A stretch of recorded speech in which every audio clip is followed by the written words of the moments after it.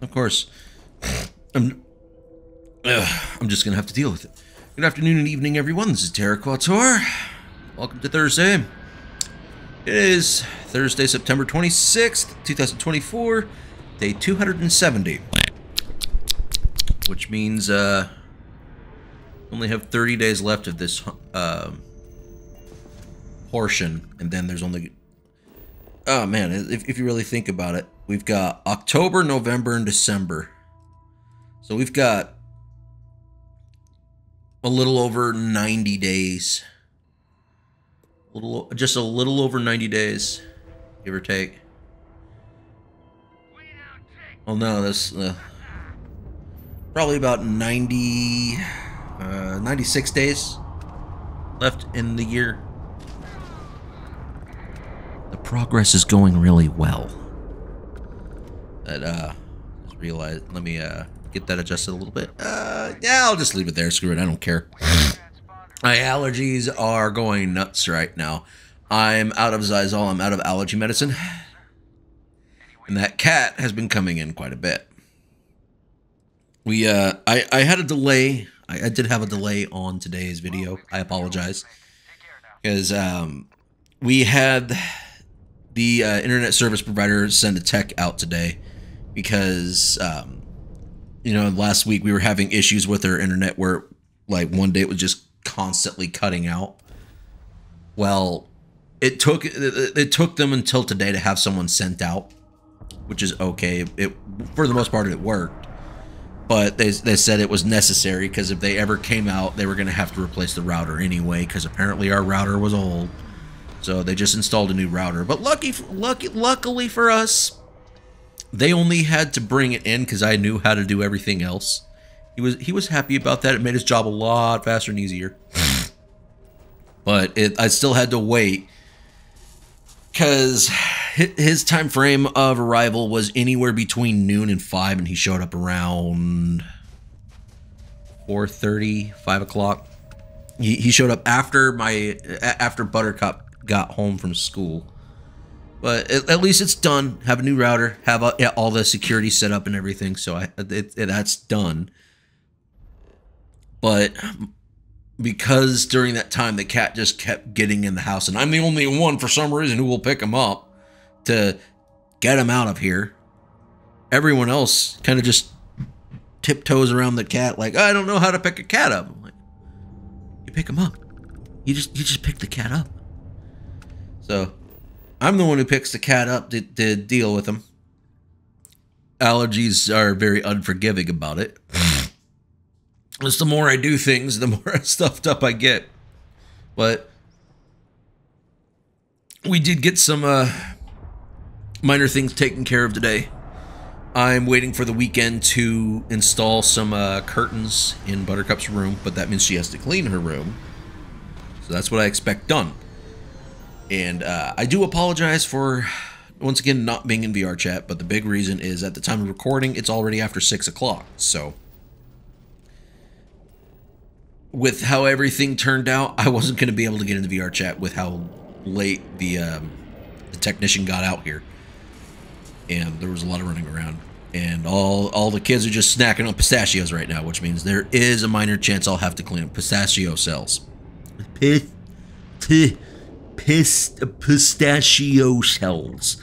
Pistachio shells. There we go. Apparently that was a tongue twister and that didn't need to be. Uh, there's that, and I, I, I just, I, I was uh, just playing Starfield as I was waiting for the technician, and I decided, and as you, as you see on the video, I decided that I wanted to get the entire Sol system survey scan complete. So every planet and every moon in the solar system is complete. And now I want to turn to probably, I, I might work on Alpha Centauri next. But somewhere along the line, obviously it's going to have to happen after the 30th. Excuse me. Because of, you know, Tessa really waiting on Shattered Space. I'm waiting on Shattered Space as well. But uh that with that DLC, our ultimate goal that we've just kept putting off because we don't know how we're going to go about it of um, scanning every single system in the game. Like, we want to scan every moon, every planet of every star system in Starfield. Is kind of a goal that we want to have. Gotta get to that point, and that's gonna be interesting. How how we Excuse me, apparently I'm tongue tied. Uh, how we're going to go about that in terms of content, we'll see. Uh, one thing we, we have realized is if Tessa wants to stream Starfield, that's going to be a challenge because we just don't have the CPU power for it to do the VTuber stuff, the voice mod, and streaming with Starfield running at the same time is it's very tasking on the on our system. And with an older um ninth gen i7 it's kind of limited. So we'll have to figure it out. Maybe maybe if we change some settings and make the stream to 720p it would be doable. But i know a lot of people are not thrilled with 720p they want their 1080 is you can't really stream above 1080 anyway, but 720 to, might be doable. It's apparently now 720 falls under standard definition. Okay, but there's that. Just waiting for this weekend to come to come along. Gonna have to see what we can do with what we've got left, and if we're gonna have to make any uh, emergency supply runs this weekend. Hopefully not. But once Buttercup is done with her homework and she's watched enough of the show that she's watching, fourth grade, and because of student peer pressure, she begged us to start watching Demon Slayer, and I was really hesitant about letting her watch it. So she's watching Demon Slayer right now. but it took about a week of discussing with Lilia, and in in that process, we watched some of Demon Slayer ourselves with while Buttercup was asleep, because um, uh, she she'd constant oh, sorry. Uh, she'd constantly been saying that all of her classmates they they they're all obsessed with Demon Slayer, and I'm like, okay. I mean, I I really like anime, and I I grew up with some. Oh, I grew up with censored anime. Well, more or less. I mean, late '90s we had the midnight run on Toon- Toonami's midnight run before before Adult Swim was a thing, but in the early days of old Toonami, you know, like 97, 1997, it was surprisingly censored. But luckily, it wasn't like W like WB kids and 4Kids level censored. Not to mention, excuse me, the worst localization choices in, for language translations I've ever seen. Think Indigo League Pokemon level translations where all of your rice balls or, you know, onigiri were all donuts. It was really stupid. But I, I, grew up mostly like younger because by then I was nine when I started watching like Gundam Wing. Um, it was still more or less censored. I mean, think it in Gundam Wing, Duo Maxwell was the god of death, is what he called himself. But those who remember the old Gundam Wing version on Toonami, he was the Great Destroyer, if you remember. And a lot of things had uh well the censors were a lot more strict in the, in the uh 90 well I'd say late 90s they were stricter. So being the concerned parent and, and knowing she's only 10 and I was like okay so what's the I, I tried to look up the um the um TV rating because uh, we don't have we don't have Netflix. We have Crunchyroll, and I know Demon Slayer was on there Crunchyroll doesn't show the, the ratings for their shows. Why are you not showing your the ratings for the shows? That's kind of an important thing. Is it like, oh, everyone's edgy on here, so it doesn't matter anyway? No, it still matters. I'd like to be able to see what those ratings are before I tune into something, you know?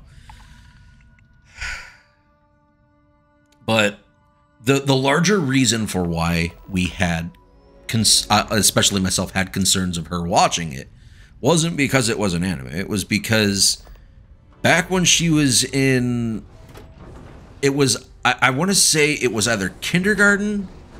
Yeah, I want to say it was may, maybe kindergarten, maybe first grade, one of the two, or both. All of her classmates, and and give it, they're all like six some of them seven because you know she's a little bit older. That's a, that's a whole different story. She was never held back. it's because of how the school systems work on when you can uh, enroll. But all of her classmates, whom were most of them were a little bit younger than her, were watching Squid Games on Netflix in kindergarten and first grade. No. No. I'm I, I was not okay with that because I, I I've never seen the show, but I know of what's in there. I mean, isn't it wasn't it like someone lost one of their little event games and uh, had a uh, shotgun send off or something like that? Is the best I can say. Yeah, I'm, I'm I'm not okay with someone kindergarten and first grade. I'm not okay with grade schoolers watching that. That's not for grade schoolers. In my opinion, if you as a parent are letting your young children under the age of honestly under the age of 13 at the earliest, I'd say, and you're letting them watch Squid Games, you're likely a lazy parent. Or at least intellectually lazy. Just because just because your child's friends are all watching something or all doing something doesn't mean your child should too.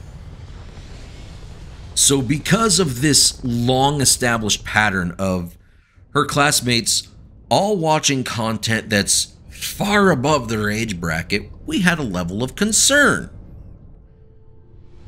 My concerns were founded because there are things in Demon Slayer that I do not think are appropriate for 10 year olds. But right now, we're just easing her into it to make sure it's okay. And so so far, she's not having trouble with it. The, the the other troubles are when she has to get up and do things. That's where the trouble is, but that's normal. But excuse me, my mouth my throat's dry. It's all the allergies. Ugh, it's terrible. But with that level of concern, it I wanted to be more cautious with letting her watch certain things because think I'm not going to let her watch Family Guy. Especially on the fact we don't have cable television. Uh, in fact, I don't have any streaming services that provide it anyway, and I'm I'm okay with that because I don't care. There, there's the the streaming services that it's on do not provide enough entertainment for my value. Not to mention they're quite expensive.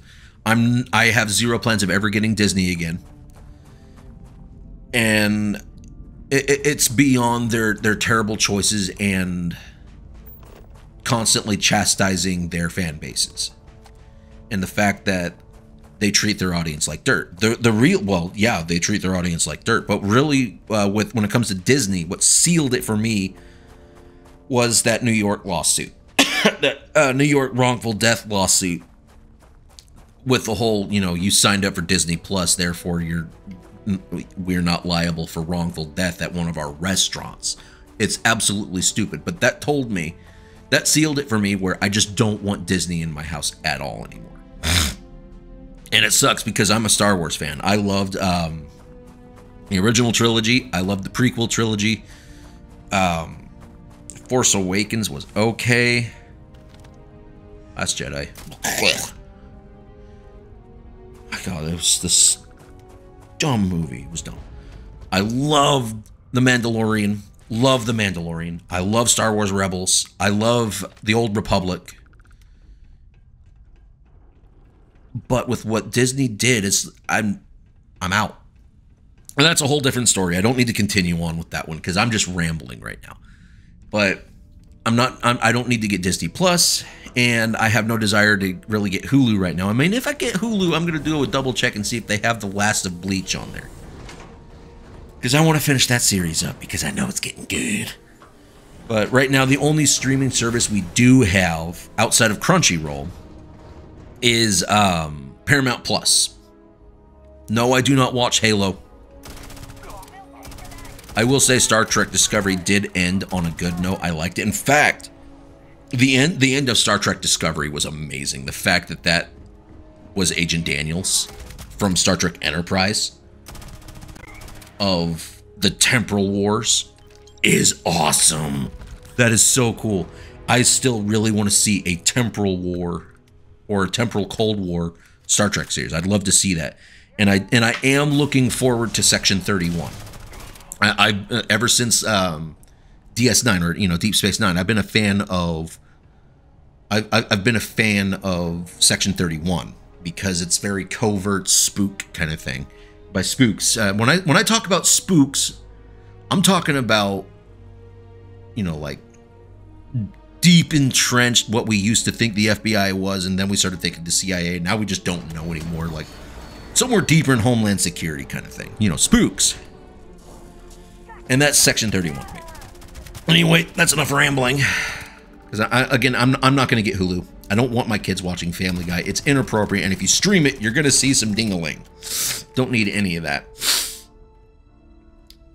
MacFarlane, you, you, you sold out to yuck. But anyway, that's enough rambling from me. As I'm still getting more stuffed up from all that dander, and I need to cook dinner. We're going to try doing a few things, and I want Buttercup to help me, possibly. We'll see. But anyway, I hope everyone enjoys the rest of their Thursday, because and it's not getting any earlier. I mean, it's at the, at the at the time of the ending of this recording, it's 6:24 p.m. So there you go. This is Terra Quattuor on your Thursday, September 26th, 2024, day 270. Hooray, we're we're really making that progress there on staying sober. Take care of yourselves, and we'll see you all tomorrow on Friday.